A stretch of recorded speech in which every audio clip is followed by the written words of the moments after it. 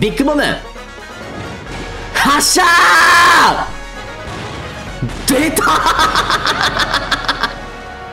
すごすぎえこんにちは、こんじきたまさぶろうです。今日はペッパーマリオ RPG やっていきたいと思います。前回の続きからで、最果て村へね、えー、行く道の途中っていう感じですね。進んでいきたいと思います。めっちゃ寒そうなんだよね。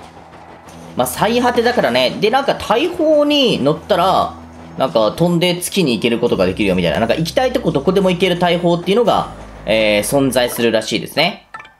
なので、それを探しに行きたいという感じですね。とりあえずこの雲さん、うわ、早っこの雲さんをちょっと倒してみよう。強そうだね、ただ。もうここまで来たら相当強いんじゃないかなっていう感じはしますが、えー、とりあえず、まあ、連続ジャンプ、いや、どうなんだろう。普通にクルリンジャンプ？ガッツンジャンプ？クルリンジャンプ？えー、連続ジャンプ？次々ジャンプ？次々ジャンプでいいかな？えいえいあー、5ダメージで5ダメージ入ります。えー、じゃあ、ヒップドロップで、えー、ほいほいほいほいほいほいほいほいほいほい。さあ、どうでしょうか？わちょわちょわちょわちょわちょわちょオッケーオッケーオッケー、倒した倒した。やっぱ強くなってるわ、二人ともね。二人ともしっかり強くなってる。ガードベアリオッケーえー、で、あとはもう普通にジャンプで倒すと。全然いける、全然いける。全然いけます。ジャンプ強っ !5 ダメージ5ダメージ入るの、ジャンプ。めちゃくちゃ強いじゃん。あ、でも経験値はそんなもらえないんだね。まあ、とりあえずこんな感じで進んでいこう。で、なんか社員やったね。ちょうど奥に社員があるんで、これをいただきましょう。あれ、どこだ？社員あるよね。見えない。取れたかオッケーオッケーオッケーオッケーオッケーオッケーオッケー。まあ、とりあえず進んでいくわ、これで。おホートフエルピーだゲットしました。バッジがね、ただバッジポイントが全然足りないんで、次つけたいのは、えーっと、フラワー節約 P ってつけてるよね。そうだね。だから、えー、次つけたいのは、えー、パワープラス P か。えー、ですね。なので、2レベ上げないといけないんですよね、2レベね。えー、その後、なんだろうなまあ、ハート増える P か、防御プラス P でもいいけどねうーん、って感じなんで、まだまだですね。つけたいのいっぱいあるな、ガチで。さあ、着きましたね。ここだ、最果て村。まあ、特に道中なんもなかったよ。なんか適当に、えー、4、5戦したら、えー、終わったっていう感じですね。到着したって感じ。ここが最果て村。月まで届く大砲はどこにあるんだ？とにかく村の人たちに聞いてみようぜ。オッケーオッケー。とりあえず、まあ、村の探索ということでお話を聞いていこう。ようこそ最果て村へ。おや、あなた立派な髭をお持ちですね。私が得意の髭で見る性格判断をして差し上げましょう。ふんふん、あなたのようなモコモコとした髭は、頑固でわがままなタイプ。いかがですか？立派な髭をお持ちの方は皆さんそうなのです。髭死んだ新しいね。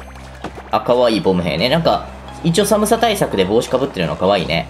ここはボム兵の村だボム。ここには何もないボム。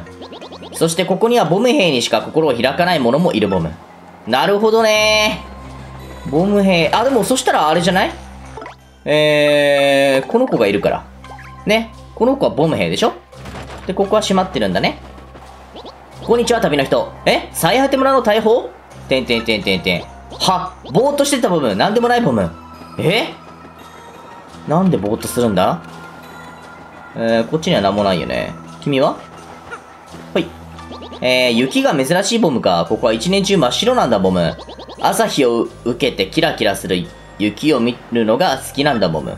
確かに綺麗だろうなで、ここにキノピオ三姉妹がいますね。こんにちは。えー、私たち世界中を旅する旅行大好き三人娘。スキーやスケートを楽しむために最果て村に来たんだけど、何にもないところじゃない。寒い、寒すぎるわ。だからガイドブックをよく見てからにしようって言ったでしょ確かにノープランで来ちゃったのか。なんもないとこだもんね。まあ、最果て村っていう名前的になんもなさそうだもんな。あ、なんだ、ボム兵があるぞ。はい。雪だるまを作ったボム。叶うことならこれぐらい大きな男になりたいボム。てんてんてん。だけど溶けて消えるのはごめんだボム。これ雪だるまがいいね。雪だるまを、あの、ペーパーで表現してるんだね。ね雪だるま、鎌倉雪合戦。さすがにいつも雪ばっかりじゃ飽きちゃうボム。確かになたまにだからいいみたいなとこあるもんな。毎日雪だと、それはそれで大変なことあるもんな。えー、ボンジュールヒゲのムシュ。あ宿屋のマドモアゼルにしつこくしてたら、外につまみ出されちゃったぜ。えー、こうなったら僕の熱いハートで雪を全部溶かしちゃうぜ。ハクションこの子は本当にどこにでもいるね。どこにでもいる。で、これ宿ね。えー、宿屋ね。まあ別に泊まらなくていいや。なんかあるかな？特になんもないかな？なんもなさそうですね。で、あとは、ここはアイテムショップか。アイテムショップはいいですよと。うわー、これあるんだ。キラキラ落としね。6ダメージ与えるやつ。氷の指。キラキラ落とし買っとこうかな。2つ、3つぐらい。えー、雑魚戦が楽になるからね。20ポイントめっちゃたま、たまるじゃん。すごいね。じゃあもう1個買おう。まあまあ、こんなもんでいいや。3個ぐらい空きがないと、あのー、アイテム拾えなくなっちゃうからね。あ、ストップウォッチ、メイプルシロップね。はいはいはい。このメイプルシロップとスーパーキノコを、ナンシーさんに料理したらなんかあるんだろうなさあ、とりあえずじゃあこれで戻って、えー、これだめっちゃ普通にあるじゃん、大砲。ね。まあちょっと周りだから行こっか。あなんじゃ最果て村になんのようじゃ。はあはあはあと。なる大砲？てんてんてんてんてん。そんなものはこの村にはないのじゃ。うわあんたは村長だな。なぜ嘘をつく？わしは以前この村に来た時に確かに大砲を見たぞ。おおおボム兵だからだ。む、あんたもボム兵なんじゃなならばお分かりじゃろう。大砲のことはボム兵以外に教えてはならぬのじゃ。我々はあれを争いごとには使いたくないのじゃよ。なるほどね。警戒してるんだね。無論それは知っておる。しかし、わしらは何としても大砲で月まで行かねばならぬのだ。そうすればこの世界が、世界が終わってしまうのだよ。むむむむむ、世界が終わるとな。うーん、それは困った。実はあの、いろいろと訳ありで今大砲が使えのじゃ。どういうことだ？あの大砲を動かすには、ゴールドマンの許可をもらわなくてはならぬ。ゴールドマン？大砲でどんなものでも望むところへ飛ばす仕事を始めたのはゴールドマンなんじゃが、奴は成金になった途端大砲を追ったら あの成金家族？金だったわ、確かにあのボム兵。小成金のお父さんね。えー、仕事を辞めてしまったのじゃよ。それに大砲のに命を懸けていたホワイト将軍。この子は誰だ？えー、リストラされたショックで大砲の鍵を持ったまま遠いどこかの村へ行ってしまったそうじゃ。ホワイト将軍。いや、ああ、わかったハラハラ村にいるわ、確か。えー、そうなんじゃ。だから大砲を動かすにはゴールドマンとホワイト将軍を見つけ出さなくてはならないのじゃよ。なるほどね。よかろう。ここへ来て後戻りはできん。マリオ、その二人のボム兵を探し出すぞ。では二人を見つけ出したらまたここに来るがいい。なるほどね面白そうだね。うーん、平和ボム。深みにはまっても平和な最果て村とボム。いや、めっちゃはまって大丈夫か？抜け出せるか？えー、はい。えー、僕は何も知らないボム。最果て村の大砲、ビッグボムなんて知るはずがないボム。いや、めちゃくちゃこれなんだよな。絶対これなんだよな。絶対、その話を聞くまでもなくこれなんだよな。でもなんかまあ許可を取らないと飛べないって話だもんね。夜空を見上げると宇宙を感じるボム。見えなくてもそこにあるボム。確かにな夜空ってロマンティックだもんなさあ、これで、じゃあとりあえず、なんとかなんとかヒルズかなそこにまず行けばいいのかなここが最後ですよ。おー、やった、たまたま星のかけらゲット。えー、じゃあ一旦、ゴロツキ村に戻って、で、そこから多分土管で移動できるんで、えー、ピカリーヒルズの方に行きましょうか。まずはね。そんな感じでやっていきたいと思います。さあ、ということで、この土管からね、ピカリーヒルズに行きたいと思います。ピカリーヒルズにいたもんね。まさかね、あのー、そういう風に繋がってくるとはっていう感じだよね。さあ、これで、あ、ここがもう一番後ろのところだから、こっちか。こっちの手前の方だったよね、確かね。成金になって仕事を放棄するっていう。そういう感じだったんだね。まあでもあの雪しかない村だもんね、あそこね。ちょっとその気持ちもわかるというかね、どっかに行きたくなる気持ちもわかるな。さあ、これで、えー、ここの家かな？確かね。おいたいたいた！君！ねえ、やあ、ゴンサレス君、今日は一体何の用かね？何？世界を救うために最果て村の大砲を使いたいだと？むむ、そんな大変なことになっていたとは。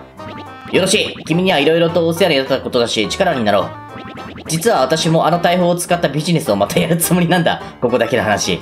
えー、大砲の音がうるさいと、妻が毎日言うから中止していただけなんだ。なるほどね。えー、しかしあの大砲を動かすにはとてもコインがかかるのだ、そこで。君がどれぐらい大砲を使いたいのかその気持ちを見せてもらいたい。手っ取り早く言えば、大砲を動かすのに君ならいくらコインを出せそう、出せるかということで。えへへへいやー全部は無理だよ。でも中途半端なこと言ったってダメだと思うんだよね。なんか、一番良くないと思うの。その1コインとか64コインは。全部か気持ち。もう、まあだから出さないか。どっちかだと思って、全部は僕出せないんで気持ちだけでいきます。気持ちだけで気持ちだけで製法を動かせんぞ。世の中にはそんな甘くないわ。君は何も分かっとらんだ。出直してきてくれたまえ。うわ、マジかよ。いやー、じゃあ64コイン ?64 コインね。64コイン出します64コインだと君はコインの価値というものを全く分かったらんそれでは大砲動かせんよ。手直してきてくれたまえ。もう全部？全部しかないんだね、じゃあ。本当に取る、取らないよね、全部は。貯金とかの概念あったっけこれ。うわ、なんかね、金塊っていうのがあるんだよね。だから、金塊に変えるんじゃないか、これ。ねえ。なんかそんな気がしたけど、ちょっとい、待って、一旦待ってくれ。一旦待ってくれ。まあ、1コインのやつも見とこうか。1コインのやつも見て、金塊を買いに行こう。そういうことだ。1000コインもだって奪われたらシャレにならないから、どこに金塊って言ってたっけなあ、思い出した思い出したわ。ちょっと金塊買いに行くわ。ちょっと卑怯だけどね、ちょっとずるいけど、お金失いたくないんで、金塊を買いに行きたいと思います。そう、確かね、まあ、ここは、あの、爆弾で壊したんですけど、この奥奥。こっちのなんか奥のショップ？ここだっけ？そう、ここに確か売ってたと思うんだよ。あ、ほらほらほらほら。だこの金塊を3つ買えばいいんだ。えー、これ3つ買おう。で、これ金塊売れるんでしょ多分ね。えー、まあ、多分300枚とかであ、あ、売れるんじゃない？おそらくね。おそらくそんな感じ。うわ、あと10コインあれば金塊買えるのにな。えー、で、どうだい？で、例えば売りに来たにしたら、いや、そうだよね。そうそうそうそうそうそう。だから、まあ30コイン失うけど、でも全部失うよりはいいよねっていうことですよ。まあとりあえずこれ預けとこっか。あ、あ、違う違う違う。えー、これ売ったら意味ないから、えー、これ預けるんだよ。これ預けて、お金を持ってないふりする。お金持ってないふりします。完璧な作戦でしょ？オッケーオッケーオッケーオッケーオッケーオッケー。えー、あとなんか、ついでに買っとくもんあるかな別に買えるなら買っといていいと思うな。まあ、これは買えない。あ、じわじわは欲しいね、これね。HP がじわじわ回復するの。と、じわじわ、FP がじわじわ回復するのも普通にいいから、これも買っとこう。OK。まあ、こんなもんでいいでしょう。OK! じゃあ、行きましょうか。手持ちのお金もなくなったことだしね。これなら別に全部預けたっていいよ、全然。僕の気持ちを見せよう、これで。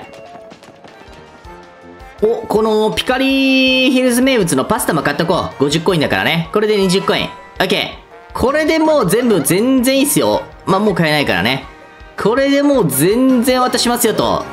全部はあげるわって言って、まあ、渡しても20コインなんで、まあ、ダメージは少ないですね、ということですね。まあでもこれよく考えたら実質あれなんだよな。その、金塊に変えてまた普通に戻すじゃん。330で買って300で売れるからさ、3つ買ったから、まあ、90コインは その、失うことになるんだよな。だから、逆に全部取ってくれよ取ってくれなかったらマジで意味わかんないムーブしてるぞ、これ。さあ、頼むよコイン全部ね。何？持っているコインを全部出すというのかね？本当にいいのかね？本当に本当？はいいやいや、まさか君がそんなことを言い出すとは思わなかったよ。コインを全部出すということは君のコインがゼロになるということだよ。分かっているのかね？はい。でも君、ここでコインを全部出そう。この先きっと苦労すると思うが、本当に？なんかね、めちゃくちゃ確認してくれる。はい。いいのかね？コインの価値というものをよく分かっていなくてはいかん。後で後悔するかもしれんが、それでもいいのか。いや、厳重に確認してくれるってことは、これ多分、合ってたんじゃない？僕のムーブが。本当にもらっちゃうよ？いいのかね？後で返してくれって言ってもダメだからね。はい。大丈夫です。もう、その覚悟で来ました。じゃあそういうことで。よかった よかった合ってた 合ってた本当に取るってやつね。いや、そうそう。これはね、いや、それだけの気持ちがあるなら、えー、わかりました。やってあげましょうっていうパターンかもしんないけど、違いますよと。読んでました。うむ、君の気持ちを確かに見せてもらった。よろしい。許可をあげようじゃないか。よかったまあ、これでまあ実質、まあ110コインですよね。20コイン取られて、90コイン、あのー金とお金のね、買えるので失うことにはなるんで、えー、まあそれでもまあ110コインでなんとかなったっていうことですから、えー、そして使用許可証をゲット。えー、ゴールドマンにもらった最果て村にある大砲の使用許可書と。オッケーオッケーオッケー。そうそう。さっきのは冗談だよ。えー、私が君からコインをもらうわけがないじゃない。え？わはははは。残念だが、えー、コインを君に返すとしよう。おい違うんかい最悪だ最悪そのパターンね。ああ、じゃあ、90コイン失ったわ。90コイン失った、普通に。いやー、そうですかやっぱりおじさんかっこいいよ。チャンピオンや探偵になるだけじゃなく、世界まで救っちゃうんだね。ありがとうございます。ゴンザレスさん、全部のコインを出したなんてとても素敵だったさますよ。いやー、ごめんなさい。僕はすごく卑怯なことをしたんです。世界を救うために、ぜひとも最果て村の大砲を役立ててくれたまえ。まあ、これはだから本当に気持ちでちゃんと、いやもう全然渡すよと。世界を救うためなら、えー、コインを出すよっていう人が得をしたっていうことなんだ。まあ、でもそうあるべきだよな。あんな卑怯に、やっべえ、コイン隠そうみたいな、そういう考えの人は、まあ90コイン失って当然だよ、これね。さあ、GDM 第6号。えー、ゴロツキタウントゥデイ。本日未明、サラリーマン30歳が赤い液体が入った瓶を飛行機の機内に大量に持ち込もうとしたところを取り寄せられた。お、なんだ？ハイジャックか、不法密輸か。様々な憶測を呼んだが、瓶の中身は料理の調味料であることが分かり、サラリーマンは無罪の、えー、釈放された。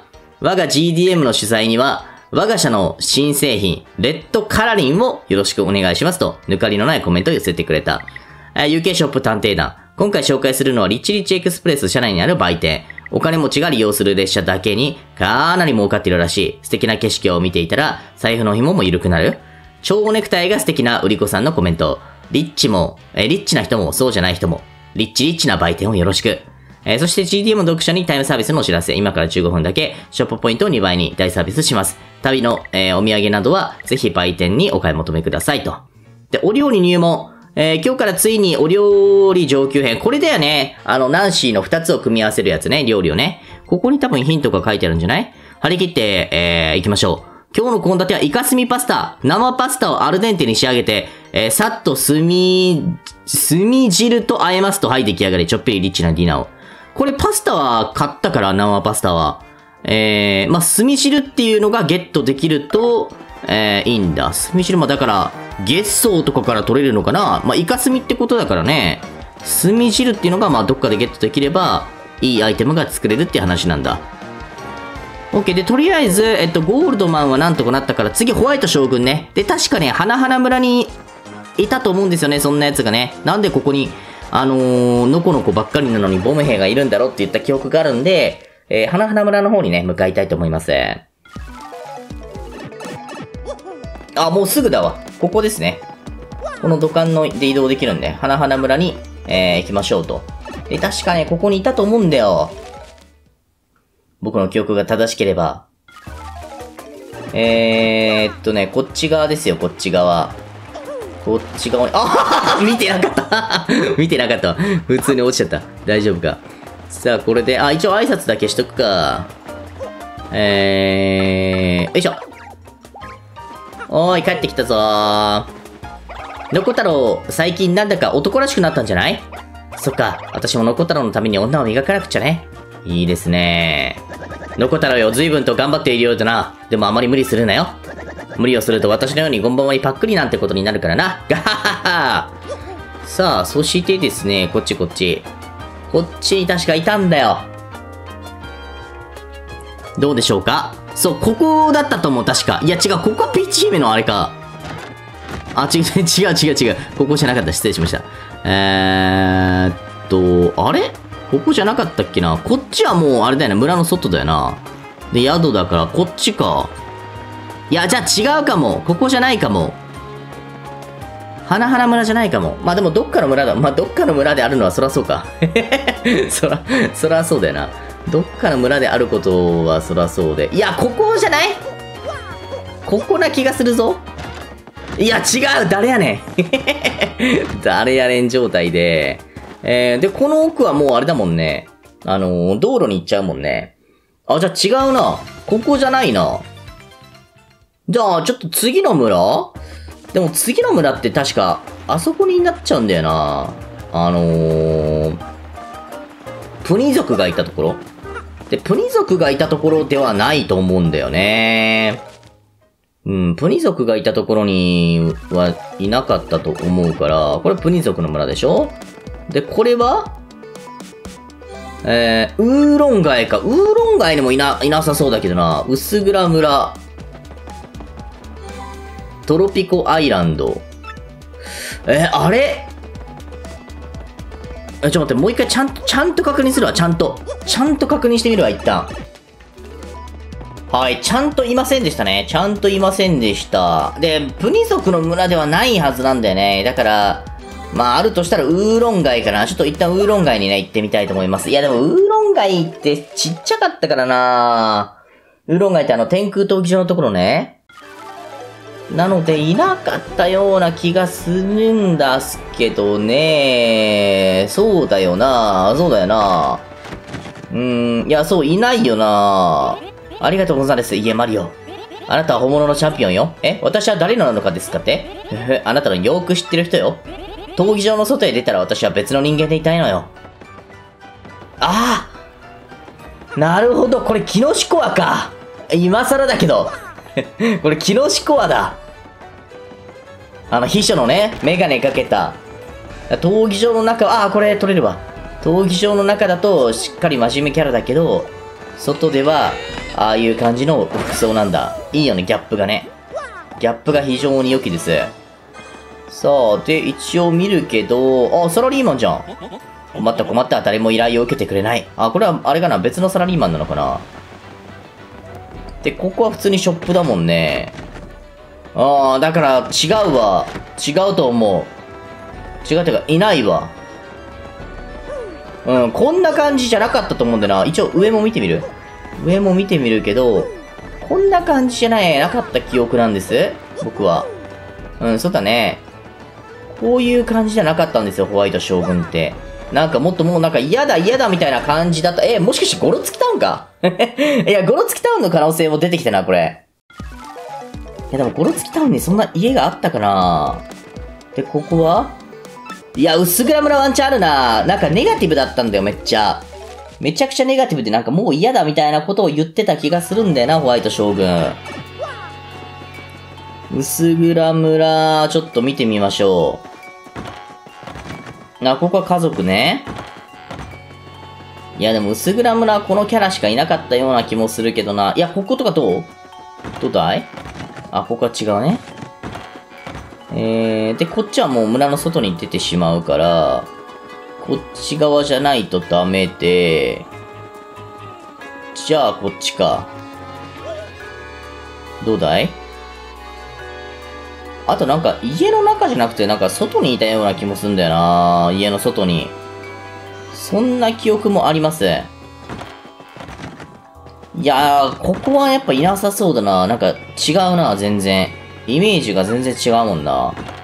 ここに急に、ボム兵がいたらめちゃくちゃ目立つから、なんか違う気がする。え、海からもしかして。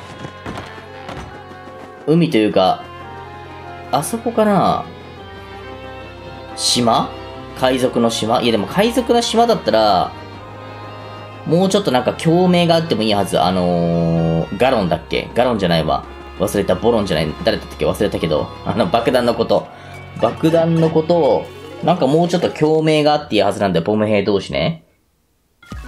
もっともっと結構前、前半の方にあった記憶があるんだよなうん、いや、じゃあ、ここ？いや、でもここ大樹の中だもんね。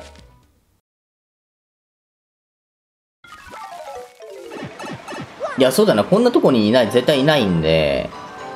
いないし、外にも、あの、クラウダしかいなかった記憶です。なので、ここではない。いや、これ、ゴロツキタウンだわ。ちょっとゴロツキタウンで探してみるわ。おモンテオーネじゃん。おお、お前か。モニーとピートはうまくやってるのか。まあ、心配はねえと思うが、一応聞きたかっただけでは気にすんじゃねえぞ。えー、ここにいるんだね、モンテオーネね。で、あの、ガチでわかんないわ。ガチでわかんないんで、ちょっと聞くわ。えー、次はホワイト将軍を探しましょう。どこか、のどかな村で過ごしていたりして。いや、そうだよな。やっぱ花々村だと思うんだよ。のどかな村でしょ？のどかな村って言ったらもう花々村しかなくない？だって。他にのどかな村がありますか？うん。の、花村だよね、やっぱりね。え、じゃあなんでいないんだ？まあ、村長とかにちょっと一旦話聞くか、じゃあ。ねはい、村長。えー、おマニオ君ではないか。なんじゃ？ホワイト将軍とな？えー、はてはて、確か以前この村におった。そうだよね。やっぱそうだ、合ってたわ。村長に話を聞かないといけなかったのか。えー、今見かけんの。えー、そういえば南の暖かい島へ行くようなことを言っておったの。なるほどね。えー、トロトロアイランド、えっと、なんだったっけ？名前忘れた本当に僕も。えー、まあそんなような名前の島じゃん。オッケーオッケーオッケー、了解了解。えー、トロピコアイランドだ、そうそう。トロピコアイランドにじゃあ向かっていきたいと思います。さあ、君、ボム兵仲間だもんね。どうだい？ホワイト将軍かいこの間までここにいたんだぜ。だけど、どっか行っちまったな。確か、空に浮かぶ島がどうかと。なるほど。どんどん移動してるわ。えー、っと、だから、ウーロン街か。ウーロン街に行きたいと思います。すごい。急にホワイト将軍、難易度上がるんだね。超難易度上がる。めちゃめちゃうろうろしてるじゃん。めちゃくちゃうろうろしてる。さあ、ウーロン街に行きますよと。ウーロン街は誰に話聞けばいいんだろう？いよいよわかんなくなってくるぞ。ウーロン街は誰かいるかい？話聞けそうな人。コロシアムの中かなまあでもいるとしたら一旦あの居酒屋だね。あの居酒屋にちょっと入ってみよう。ワンチャン話が聞けるとしたらここでしょう。いないね。どうだい？えー、いや違うな。あ、マスターだ。マスター、マスター。来た。ホワイト将軍？あの、白いボム兵ですか。あの人ならよくここに来てましたよ。でも最近見かけませんね。そういえばどこかの森の大きな木に行くとか行かないとか、なんでプニ族のところね。なんで プニ族のところに行くんだ いよいよわかんないぞ。何をしようとしてるんだ、ホワイト将軍は。あれかな自分探しの旅みたいなことかなそんな、ぴょんぴょんぴょんぴょん拠点を変えることあるさあ、とりあえずじゃあここに行きましょう。えー、プニ族のところね。プニ族誰かね、仲間になって欲しかったね。プニ族は全く仲間にならずでしたね。プニオとかね、可愛かったのにね。さあ、このかっこよくなった扉に入って、なんかあの、まあ、おばばとかプニオとかに話を聞けばいいのかな？お、プニオえー、ようこそ大樹へ。ホワイト将軍？知ってるよ？白くて髭が立派なボム兵のおじさんでしょ？だけどもうどこか行っちゃったよ確か薄暗いところへ行くって言ってたような薄暗村ね。ちょっと待って、移動させすぎ移動させすぎだって。しかも、まあ、優しい設計だけどね。すぐ、あの、ぴょんぴょんぴょんぴょんいけるから。非常に優しい設計ではありますが、移動させすぎでしょ、これ。さあ、薄暗村ね。薄暗村に行きたいと思います。薄暗村の多分村長に話を聞けば、スムーズなんじゃないかなっていう感じですよね。さあ、薄暗村に行って、で、あとはもういよいよ、えー、トロピコアイランドじゃないわ。ピカリーヒルズかゴロツキ村に移動するぐらいしかなくなってくるよね。いよいよね。さあ、で、村長の家が確かこの真ん中の家だったよね。これが確か村長の家だったと思うので、村長にお話を聞いてみたいと思います。村長えー、おー、これは我が村のヒーロー、マリオさんではありませんか。確かにホワイト将軍とかいう白いボム兵はこの村に来ておりました。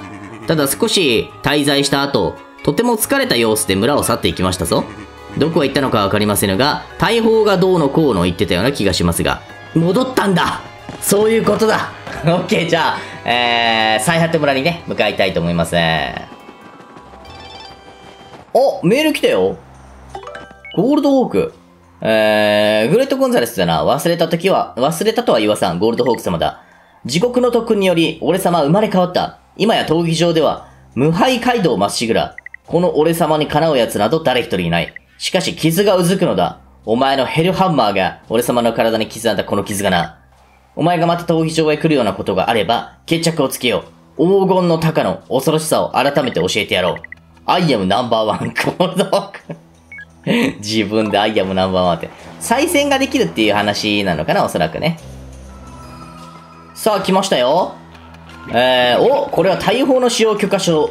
えー、ゴールドマンに与えたの、あ、会えたのじゃな？えー、あとはホワイト将軍じゃ。何？ホワイト将軍がどこにいるかわからないとな。あ出てきたあの子だよ。えー、うーん。どこへ行ってしまったのやら。困ったの。ホワイト将軍でなければ、あの対応を動かせないからの。な、なんでみんな知らないんだ？さてさて一体どうしたものか。黙ってるのかな僕たちにね。めちゃ、めちゃめちゃここに帰ってきたもんな。おい、起きろ眠ってやると起こしますかはい。起きてください。おお、踏みつけるんだもう一度起こします。はい。大丈夫？死なない？もう一度起こす。タイミングよく A ボタンを押すとか、じゃないんだ。え？大丈夫？なんか、ど、どんどん、どういうことだ？え、ちゃんと A ボタン押さないといけないのか？え、でも A ボタン一応タイミングよく押してはいるんだけどね。こんな連打するの？なんかもうペラペラになっていってるよ？どんどん。もう一度だけ、はいはい。え、むにゃむにゃ、いやもう限界だって、こんなにやらないといけなかったの？びっくりしたわ、ちょっと。起きたわ。なんだね、君は。わしはもう疲れたのだ。慰めならいらんよ。もうわしには夢も希望も。ん？そ、その髭、その帽子。でもってそのハンマー。お君に会うためにわしはいろんな場所を探し回っていたのだ。え、そうなの？そうなの？なぜかってそれは、ビッグボムを再び動かすためだよ。わしは仕事を失い、生きる希望も失った。途方に暮れていた時、ゴロスキタウンの占い師に言われたのだ。M のマークの帽子をかぶり、ハンマーを持ったヒゲ親父がそなたの望みを叶えるだろう。おおとな。何？世界を救うために巨大大砲を動かしてくれ？おお占いは本当だったのだな。ならばこうしてはいられん。わしはビッグボムの準備をするから村長に報告をしてきてくれ。頼んだぞ。いよいよなんだ。普通に動いたわ。会うためにいろんな場所を探し回ったのはこっちだけどね。確かに。確かにな。さあ村長。いけそうっすよ。何？ホワイト将軍が戻ってきたか。どうやらこれでビッグボムの復活じゃな。あまりにも興奮しすぎて今にも爆発しようぜ。やめてください。えー、さああなたたち。えー、を月まで飛ばしてあげるぞい。いよいよなんだ。やったぜ、ゴンザレス。では、私の後についてきなさい。あ、これじゃないの？こっちだ、こっち。これじゃないんだね。てっきりこれだと思った。これじゃないんだ。こっちね。別のやつがあるんだ。てっきりあれが伝説の大砲かと思いました。さあ、どこに行った？ああ、村長、はい。え、そこに立つのじゃ。いやー、全然違う、すごい。え、大丈夫？ホワイト将軍、ビッグボーの準備は良いかね？任せておけ。皆の者、ビッグボムを起動させるぞ。おおおなんだ？では皆の者配置につけ。うわ、これがフォーメーションか。フォーメーションで？なんだなんだなんだ？鍵、あ、ここ閉まってたわ、そういえば。ここ開けて、二人が入っていきました。かっけえ操縦室みたいなのがある。システム起動。起動起動。めっちゃかっこいいじゃん。システムチェック。システムチェック、オールクリア。ただいまから巨大大砲ビッグボムの発射準備に入ります。どうなっちゃうの？アウターゲートオープン。ゲートオープン、ゲートオープン。なになになになにうわーすげえかっけえめちゃくちゃかっこいいじゃん。えー Inner shutter open。Shutter open、shutter open。あ、これね。すごい。いや、そうだよね。だって月まで飛ぶわけだからね。これぐらいのもんじゃないとね。ビッグボム、 lift up。Lift up、lift up。かっこいいかっこいい。なんか赤いビームみたいなのが出て、ぐーんと上がってきてる。でけえすっごいでかい。ロケットじゃん、もうこれ。でかすぎ。いや、これ大丈夫か？体持つか？粉々になっちゃうんじゃない？こんなの。やばテイクアウト、テイクアサイト、ターゲット月。いよいよ行くんだね、月に。方位75.38。行角54.66。距離389603。さあ、定めてるね。月だ。届くか？風速1.08方位3.03補正行角2.39補正すごいぞマジ大規模ターゲットロックチェンバーハッチオープン開いたさあミナルモンド乗り込めうわここで爆発え？死なないよね？みんな。